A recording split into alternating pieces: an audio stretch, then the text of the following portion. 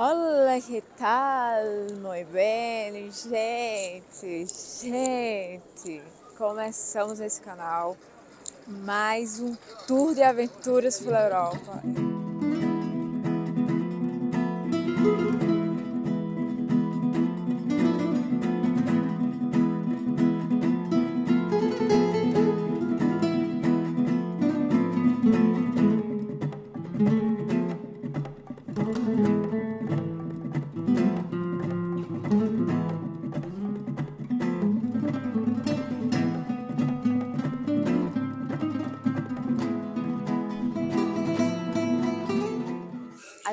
Aqui, pra conhe- a gente passou pela frente e viu a vitrine cheia de presunto embalado para o Natal.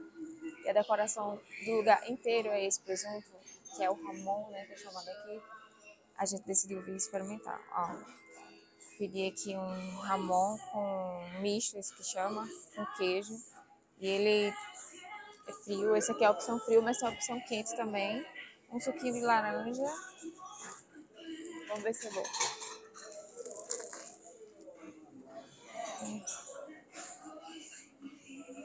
Como é bem mais durinho que o nosso francês. Mas é bom. Hum, delícia.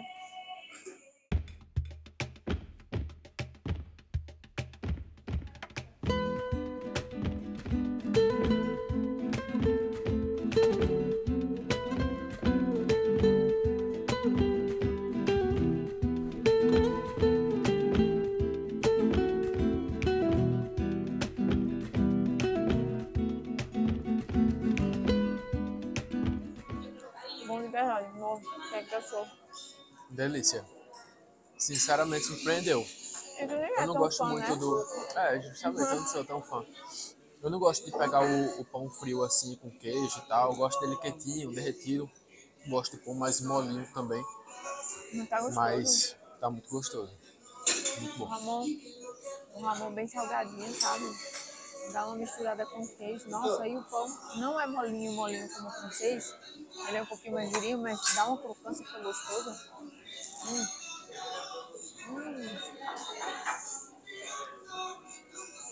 Muito bom. Só venho, sério, só venho. Foi, ó, melhor coisa que a gente fez. Passou pela vitrine, viu o lugarzinho, vamos entrar. É. Melhor coisa. E pagamos Cadê?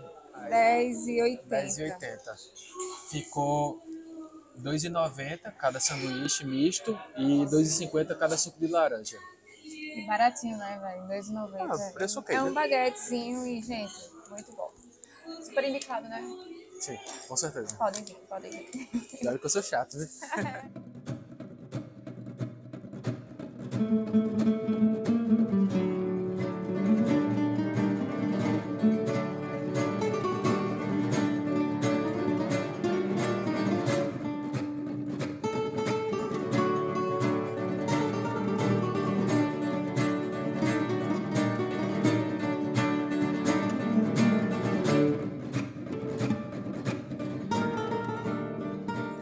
Gente, sei que vocês vão perguntar como que a gente veio. Viemos de ônibus dessa vez. Tínhamos a opção de sair de Coimbra para Porto e de Porto pegar um voo. A gente acabou optando por, por ônibus, pelo horário, porque vinha à noite, a gente já amanhecia aqui, então, tipo, ganhava mais tempo na cidade. Então, viemos de ônibus. Vou deixar aqui o valor na tela para vocês. E chegamos, né, aqui em Madrid. Chegamos aqui numa época privilegiada, a cidade inteira está toda decorada para o Natal, ó. E eu já tô vendo que isso aqui à noite vai ficar lindo demais. E eu estou aqui em um dos pontos mais concorridos de Madrid e mais visitados também. Eu estou agora na Puerta de Sol. É um ponto de encontro obrigatório aqui em Madrid. Você vê que está lotado, né? E é um ponto de encontro, seja de turista ou de local. É uma parada obrigatória para você vir, porque, primeiro, é aqui nessa praça, é uma espécie de praça, né? Aqui nesse ponto é onde está localizado o Marco Zero, o quilômetro zero das vias espanholas. Gente, é muito legal, porque todo mundo que vem aqui vai atrás da plaquinha para tirar sua foto, põe o pé lá para você registrar que esteve no Marco Zero de Madrid. Eu já vou lá tirar minha fotinho, tá? Aqui também está um dos prédios mais antigos e mais renomados de Madrid, que é os Correios da Puerta del Sol. Ele é tradicionalmente conhecido por esse relógio aqui que fica na ponta, e no final do, do, do ano, né, na virada do ano, esse relógio faz a contagem oficial decrescente para a entrada do novo ano. Isso aqui fica lotado, todo mundo para assistir a contagem feita nesse relógio.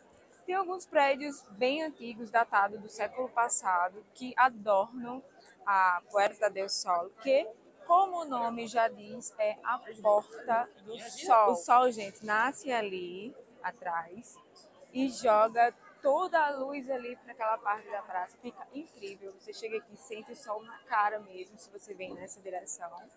É, e aí, por isso o nome Porta del Sol. Esse lugar onde eu estou, gente, já foi uma espécie de muralha que rodeava essa entrada aqui de, de Madrid. E aí hoje, né, faz ligação, liga Madrid a vários pontos.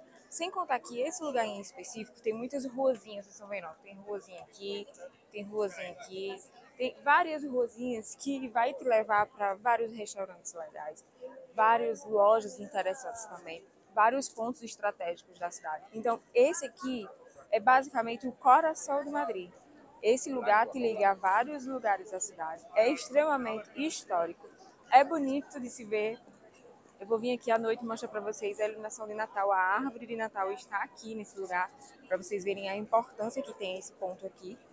É, enfim, gente, é um lugar para você marcar e se dar seu check aqui em Madrid. Se está aqui, tem que vir visitar a Porta do Sol, tirar uma foto aqui, ficar um tempo aqui também sentado, ver o pessoal passando. Aqui você vai ver gente de todo lugar do mundo, então é legal porque você vê culturas diferentes, povos diferentes, gente diferente. Aqui também tem é, uma estátua, vou levar vocês lá, que é bem interessante.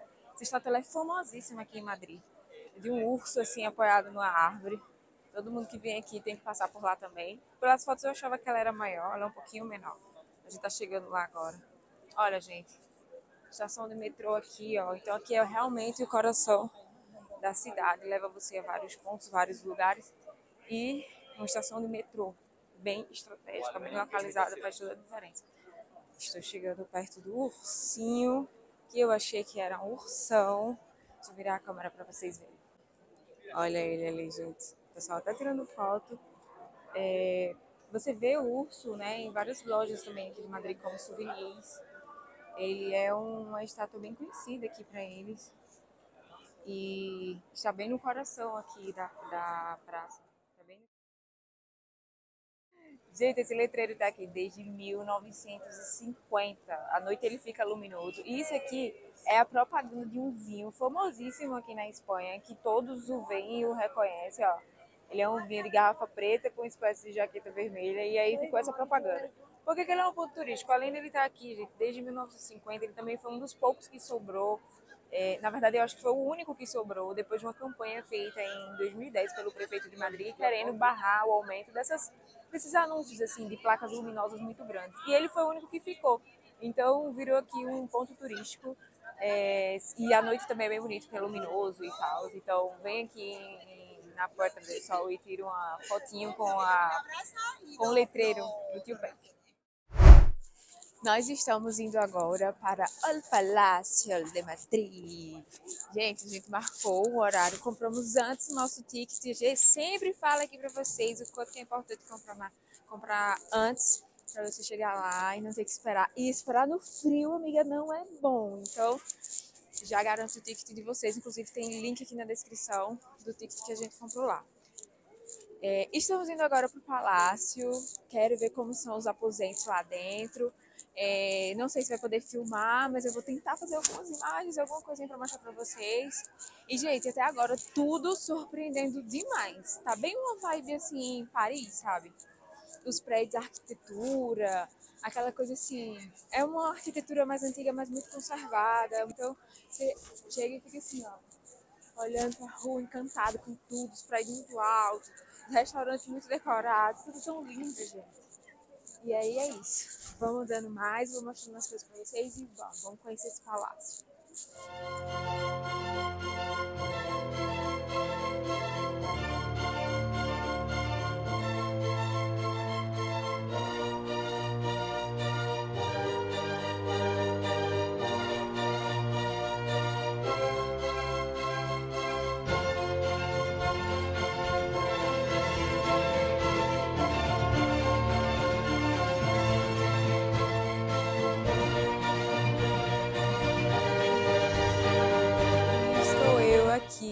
Nada mais nada menos em frente, ó, ao Palácio Real de Madrid. Vou dar um 360 aqui. Gente, o quanto que isso aqui é bonito, vocês não têm noção. Quer dizer, vocês estão tendo agora porque eu estou mostrando para vocês. E vou mostrar todos os detalhes, tá? Na íntegra. Gente, isso aqui é oficialmente a casa do rei da Espanha. Oficialmente a morada do rei. Porém, ele só usa para ocasiões solenes, para ocasiões especiais, como jantares de gala, recepções, premiações e por aí vai. O rei, assim como a família real, optaram por morar num palácio mais modesto, porque como vocês estão vendo isso aqui, é imenso, né? E eles acharam que assim ia ter mais privacidade, e com razão, né? Vocês veem que aqui tem uma galera lá frente esperando para entrar para ver como que é isso aqui. Então eles moram em um outro palácio mais afastado, e esse aqui, como eu disse, fica só para ocasiões especiais. Gente, se por fora já é bonito assim, você imagina por dentro? Vamos ver tudo. Eu vou mostrar todos os detalhes para vocês.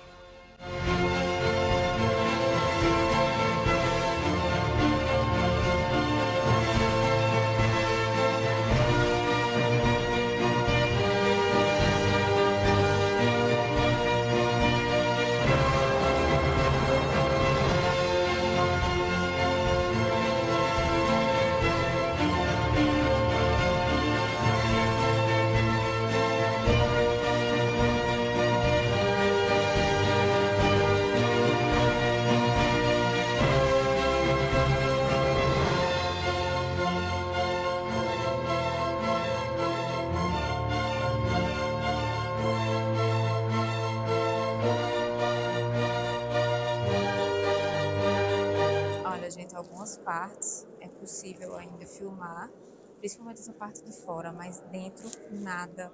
E eu assim, ó, moendo, porque eu queria mostrar tudo pra vocês, eu queria tirar as fotos, queria tirar tudo. E ó, no pictures, no pictures. Mas, gente, eu garanto pra você, pra você, você não vai se arrepender. É uma visita relativamente, né, tem um tempo considerável, relativamente longa, mais ou menos uma hora. E por cada cômodo que você passa, é um uau diferente que você vai dar é uma surpresa diferente em termos de arquitetura, em termos de decoração. A gente viu a coroa, gente, a coroa duas vezes o tamanho da minha cabeça, a gente tem noção. Cravejadas. Gente, lindo. Indico demais para vocês, venham aqui a Madrid, não deixe de vir no Palácio Real, porque é uma das coisas mais bonitas que você vai ver aqui, tá? Decidi o que é na hora, eu peguei isso aqui, não sei o que é. Acho que seja Parece um frango, frango né? É, frango frito, mas vamos lá. Eu passei com o cartão, depois dei pra ele e ele passou. Deu bom, deu bom, deu bom. Agora vamos achar nas destinos.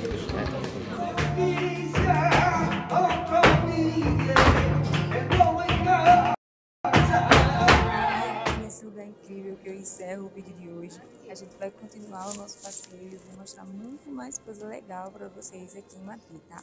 Se você está até aqui e ainda não seguiu o canal, ainda não era inscrito, já se inscreve para não perder essa aventura e não perder nenhum minuto do que é aqui em Madrid. Ó, beijo, beijo, beijo.